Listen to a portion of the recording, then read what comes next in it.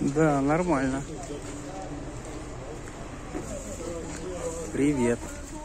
Привет. Как дела?